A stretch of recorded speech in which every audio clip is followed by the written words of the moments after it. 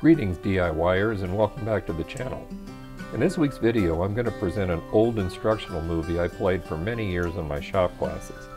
It's all about steel, how it's made and how it's formed. Why learn about steel? Because it's amazing and every DIYer uses it as either a raw material or in its final product forms like tools or equipment. Knowledge of its properties makes it easy to understand why steel tools like the 1930s wrench on top outlasted its original owner, while the bottom wrench clearly didn't. The movie we're going to watch was made in 1936, but don't let that put you off. The reason I kept showing it to my classes over the years is because I've never seen a better visual presentation on the subject. It doesn't try to hide the dramatic and somewhat dangerous aspects to steel production, and for that reason it's better than more modern works that try to gloss over those aspects with a bunch of PC babble. But before we watch it, let's go over a few quick terms that are essential to understanding this incredibly important metal. First, steel is an alloy of iron and carbon. But what's an alloy? Well, an alloy is simply a combination of two or more metallic elements. And if you're unsure what a metallic element is, just look around you. Just about every object you see is partly or mostly made of metallic elements, even you. In fact, most of the elements on the entire periodic table are metals, as shown here in gray. Now I said earlier that steel is amazing, but not just because of what you can do with it. It's also amazing, at least to excitable people like me, because of how it was discovered. In reality, steel discovered itself. Its main ingredient, iron, has been processed by man for thousands of years simply because it's found almost everywhere. That's because a lot of it is on the Earth's surface due to impacts from iron meteors. In fact, it's believed that a small planet struck the Earth billions of years ago, sending out debris that eventually formed the moon, and scattering iron over the Earth's surface in huge deposits. So iron was easy to find and it was mined and processed for centuries before metal workers discovered an odd thing about some of their products. It turned out that old furnaces exposed to lots of charcoal and carbon soot made better iron. That's because it was no longer just iron. The charcoal and the soot introduced carbon into the liquid iron and when it cooled and hardened it was stronger than pure iron processed in a cleaner environment. As soon as iron producers realized what was going on, they started controlling the process of adding carbon and even experimenting by adding other elements. And thus, the science of steel metallurgy began. So, how much carbon do you need for steel? Very little. Most steels have carbon content measured in hundredths of a percent. If you add 1% of carbon, or more than 1% in fact, you can make steel that's so hard that it can be used to cut other lower grades of steel. Drills and saw blades, for instance, are made of steel with a carbon content uh, approaching 1% or even exceeding it. Once steel is produced, it needs to be formed into a useful shape. There's two basic ways of doing this, and you're going to see both of them in the upcoming movie. You can form metal into a useful shape by either casting or working. Casting is the process of melting a metal and pouring it or pumping it into a mold like you'd pour cake batter into a cupcake mold. When steel is first created, it's poured into massive molds that form it into a shape called an ingot.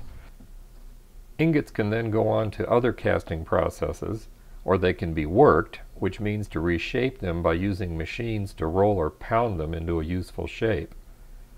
When ingots are first worked, they are rolled into big blocks that are called blooms, billets, or slabs.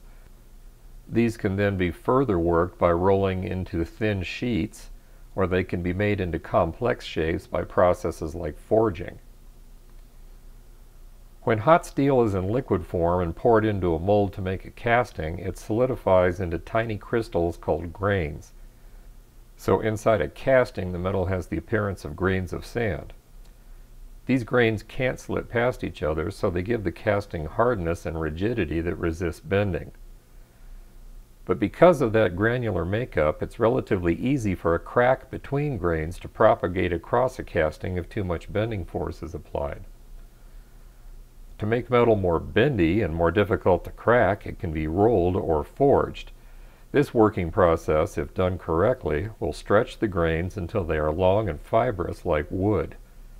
Parts that are made by rolling or drawing will have grain that is so long that it allows the metal to bend repeatedly without breaking. In this high-tech example, I'm going to use my fingers to first represent worked metal with long grains that can slide over each other, allowing the metal to bend. But a cast grain structure demonstrated here will break if a bending load is applied to the part. But unlike wood, even worked metal can shorten its grain structure if you bend it too many times and too far, leading to an eventual break. One of the best examples I can think of to compare a casting to worked metal is an engine crankshaft, which are commonly made by both processes. A cast crankshaft is cheap and easy to produce and has very hard bearing surfaces that resist wear. But if heavy bending loads are applied, it's easy for a crack to travel across the part and cause a failure. A properly forged crankshaft and by properly forged, I mean the forging was done in several gradual steps with careful heat control, will allow a certain amount of twisting and bending loads without breaking. Many cars use forged crankshafts, but all aircraft engines do because an aircraft crankshaft twists constantly due to torsional vibration from the propeller and would quickly break if it was made from a casting. You might also hear the term billet applied to crankshafts or other car components. Now remember a billet is just a big block of metal that's been rolled from a cast ingot. If a crankshaft is made from a billet, it's cut into a crankshaft shape from a single block of metal. Now the original block has long grain structure, but if you cut across the grain to make a complex part like a crankshaft, there can be more paths for cracks to easily form along the grain boundaries.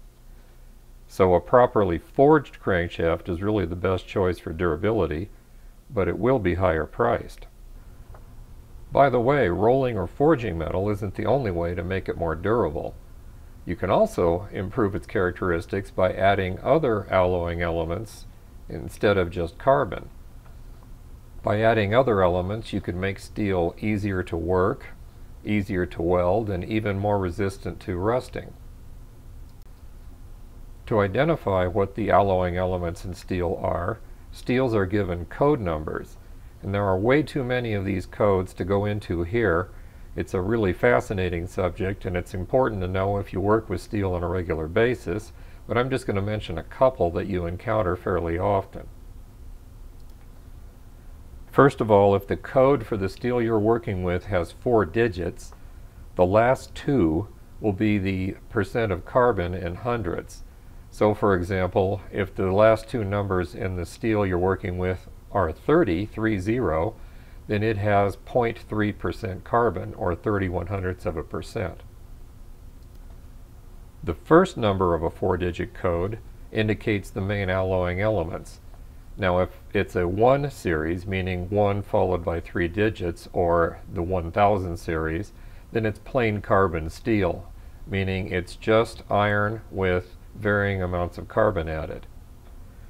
For another example, a very useful steel that's very commonly used in the aircraft industry, we have 4130, 4130, and it's popularly known as chrome moly because the major alloying elements are chromium and molybdenum. If you're curious, molybdenum is added to increase toughness and chromium is added to steel to make it easier to harden and to resist corrosion.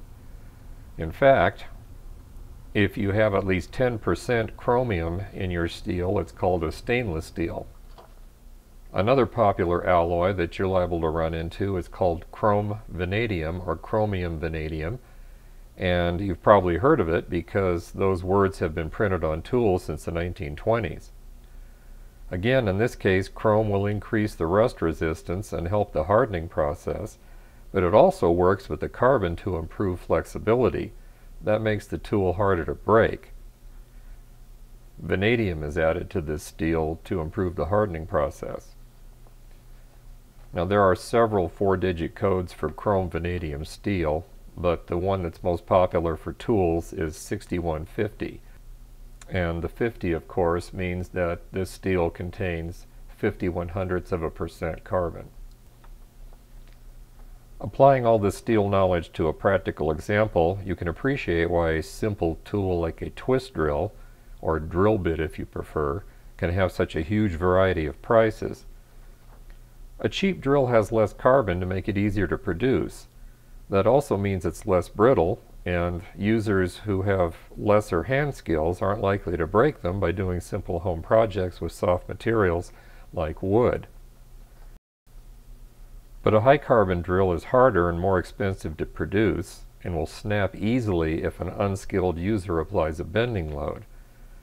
I advocate keeping a set or even several sets of low-cost drills around the house for general use by family members doing things like hanging pictures. I also keep a cheap set of number drills for my own indoor hobby projects, but in my shop I keep the good stuff. A small number of expensive drills I use for precision work. And if they ever get dull, I regrind their points to keep them useful and accurate. The point is that both high-cost and low-cost steel tools can have their place in a DIY household. And now finally, here's the movie. Steel production in all its heavy industry glory.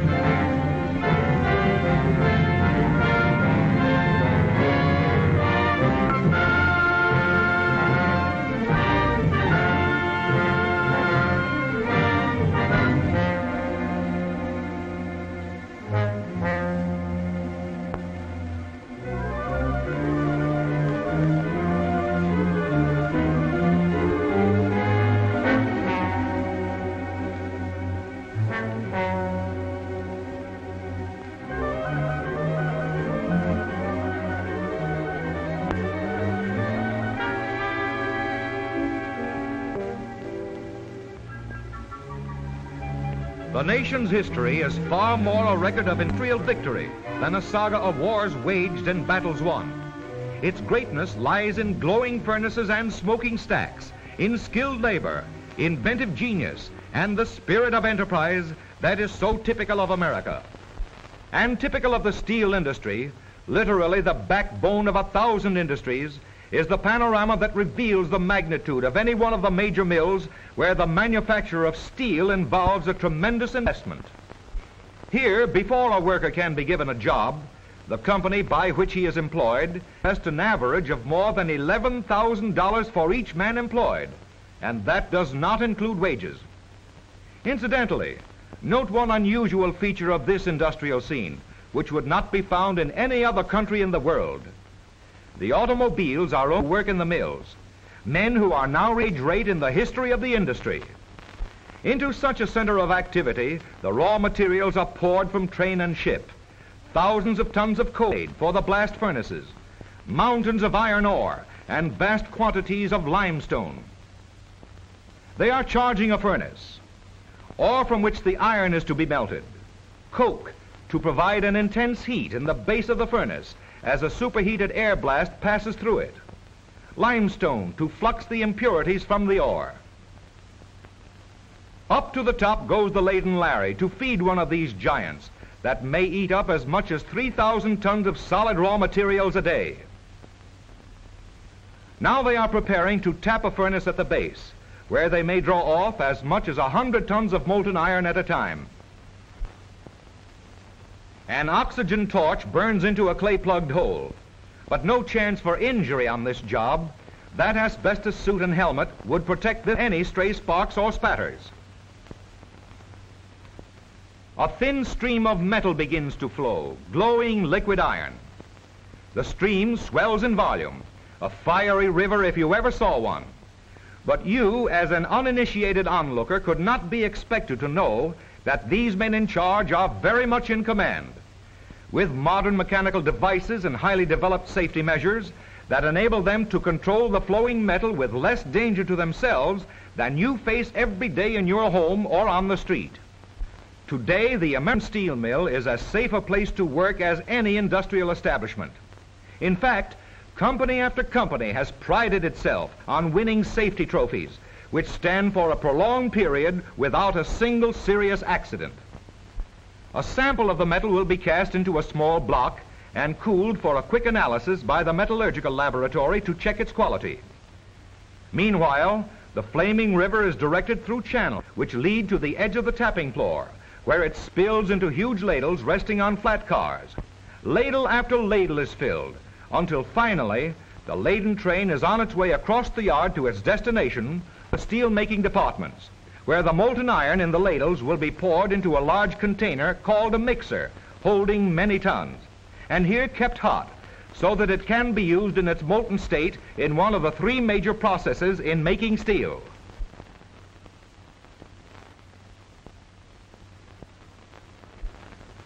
Of these, the Bessemer converter process is the oldest for producing a tonnage product available at low cost for a multitude of uses. Here stand the operators in safety behind shatterproof glass. Number three is going to pour. One of the monsters, like a huge egg with the top sliced off, tips over on its trunnions and pours into a ladle its load of steel that glows like the sunset and shoots millions of sparks through the dim traceries of girders and all down the length of the arena. Very different from the spectacular Bessemer is the squat little electric furnace which makes special steels because of its smaller capacity and the ease with which it can be controlled so accurately. From this process come the high-grade alloy steels, such as stainless and all sorts of special steels with special qualities. And then there are the open hearths. While the roaring flame and fireworks from Bessemer converters still provide a thrilling spectacle, and capacity for producing steel in the electric furnace has been increasing in the last few years, 90% of steel today is produced in open hearth furnaces because of the demand for tailor-made steels in large quantities, which can be produced with this flexible and efficient method.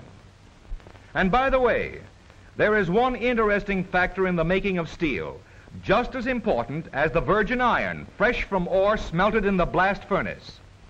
It is scrap. Most of the scrap metal will be found en route to the open hearth department. Remelted scrap steel constituting about 50% of the total steel produced today. There's a carload of sheared ends. There's another. And there's a car that may hold all that is left of your 1929 automobile, now on its way to become part of a steel, and a better steel, perhaps for your next car. In this huge structure, the open hearth floor, which is typical of American steel mills, a long line of furnaces holds steel in the making. Steel that will someday enter your life, perhaps carry you safely on some journey, provide you with shelter, create an endless variety of comforts and conveniences. A supply of finely ground dolomite has been piled before the furnace that is to be charged. It will melt like glass and fill any holes that may have been burned through the lining by the previous heat, forming a solid bottom for the fresh charge. Then the charging begins. From the trainload of scrap which has been brought close to the furnace, an electric charging machine lifts box after box and pushes its burden through the door of the furnace. The operator sitting at a safe distance, spinning the ram and dumping its load. There is the rumble of a giant traveling crane overhead, moving in with its burden. A huge ladle of molten iron from the mixer, where it has been awaiting this final step in the process of becoming steel. They are placing the chute into position for pouring the charge. And as the crane draws near, note that the men actually handling the metal are either sheltered high up on the crane in the cab or operate electrical controls across the floor. There goes the charge. 50 tons of white-hot liquid metal heated to approximately 2,800 degrees Fahrenheit. Hazardous? Frightful danger in this job? Not at all. Millions of dollars have been spent by modern steel mills of America for safety. Devices are employed which not only protect the worker from molten metal, from metallic dust, and from flying chips, but also from human carelessness. The of steel production has made work simpler and safer. Men are not doing dangerous jobs that the machine can do more safely. But more men and more competent men are required to control the machine. And the safety achievement of the steel industry is a high tribute to the intelligence of these men who work in the mills. Like good cooks, they must know the temperature of the brew, and they measure it on an optical pyrometer while it boils in a white-hot pool as big as a fair-sized room. And like good cooks, they even take several samples of the brew using a long-handled small ladle to pick up enough liquid steel to cast a test ingot. It congeals almost instantly and is soon dumped out and handled quite readily. When it is cooled, it will go to the metallurgical laboratory for a thorough but quick examination before the metal from which it was taken is drawn off to be made into steel. Thousands of different kinds of steels are made like this every day. Each steel, strange as it may seem, a custom-built product each different steel the filling of a prescription to bear certain, to be of a certain hardness, to be soft, flexible, dull, bright, to be tailor-made for each one of thousands of uses. Now they are ready to tap a big one, and they must reach across to the opposite side of the furnace to break through the clay plug tapping hole from the inside. But the place to see the spectacular part of the operation is on the other side of the open hearth furnaces where an asbestos-clothed worker burns through the exterior of the clay plug tap hole with an oxygen torch. A few more ramming blows with a long tapping iron, and there she flows. 200 tons of steel produced according to specifications for one of an infinite variety of uses. Just the proper percentages of carbon and other elements are retained in every heat of steel so that it will possess the exact characteristics needed. Men on the platform will shovel in the correct amounts of spiegel, ferromanganese, ferrosilicon, or whatever agent the metallurgical laboratory has prescribed for this particular heat of metal. Higher and higher it mounts in the great ladle until the slag, the undesirable portion of the charge, rises to the top like froth and overflows to find a future usefulness as a byproduct in other lines of business. The electric crane moves into line to carry the ladle to the pouring platform, where a train of cars bearing the ingot molds is waiting. When this molten metal has been poured into molds, the basic business of making steel is ended. Thereafter, it is only a matter of fashioning from the ingots the form of product desired. The steel man says that this fiery liquid freezes immediately in the mold. He means that it congeals when its temperature goes down a thousand degrees or so, and within an hour is frozen too hard on the outside for rolling. Thus, it is not of a uniform consistency. So after the molds are stripped from the ingots, weighing from 5 to 15 tons apiece, the huge castings are hauled away to a furnace called a soaking pit, in which they are heated until of the same temperature throughout, and which holds them at exactly the right heat for the anvil of the modern blacksmith, the rolling mill. Now this steel is fairly on its way to you, because in this one chunk of white-hot metal, There may be thousands of cans, kitchen utensils, or perhaps the materials for automobile bodies, refrigerators, and innumerable things in everyday use. And this universal use of steel is possible because its cost is only two or three cents a pound, the lowest of any important metal. The wide strip continuous mill made it possible to provide sheet steel wide enough for the all steel automobile body and the one piece steel top on the models of today. It is one of the many great advances in the art of steel making, which has brought a saving to the consuming public in the form of lower prices for better steel amounting to nearly $300 million a year, compared with costs of 10 years ago. Automobile users alone are saving $75 million a year. But in spite of more men are needed in the mills, and employment is now at the highest level in the industry's history. There goes that ingot you saw, now a hot slab, flattened and elongated, on its way to further reduction. Now reduced by further rolling to the size of armor plate.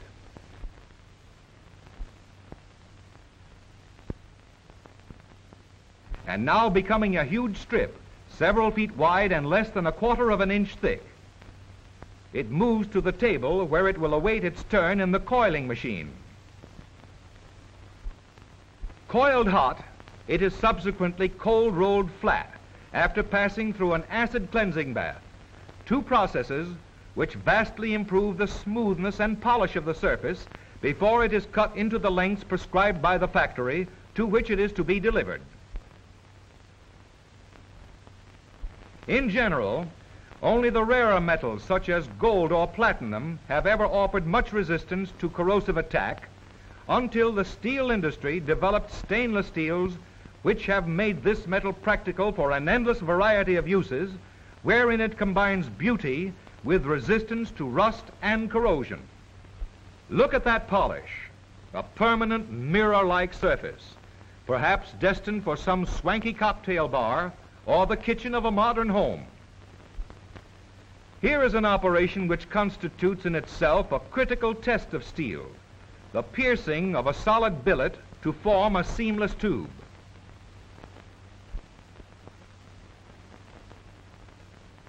And here is another interesting operation, also a critical test of steel, the making of a car wheel.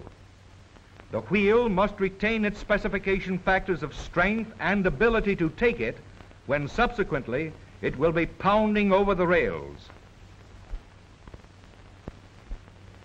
On another mill, a big ingot begins to take form with the first rough rolling, becoming elongated as it passes through another roll, and then assuming a familiar shape as we see the outline of an H column, destined for some skyscraper or perhaps a great steel bridge. The operators of the mill, up there above it and completely shut off from the heat of that white-hot steel, turn it, spin it around, roll it by pressing buttons or throwing levers, and finally deliver it at the far end of the mill, a completely finished job. Steels pass through various mill processes or combinations of processes in order to make them suited to a wide variety of uses. In any giant ladle of molten metal, there may be steel that is destined to defeat time and distance, to provide the framework of mighty buildings, and to enter into the daily life of every citizen in thousands of things that provide comfort and convenience with economy. The call for steel from every section of America is a demand for a basic material without which life and living standards as we know them today would be impossible. Steel has kept pace with and anticipated the increasing needs of the nation. Men and steel provide a nation with its comforts, its luxuries, and its progress.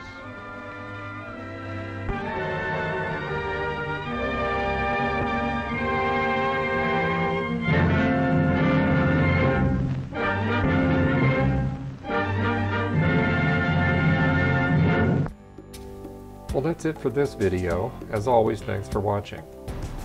Please give it a thumbs up and subscribe to our channel. We really appreciate the support and it'll help us grow the channel and bring you more content.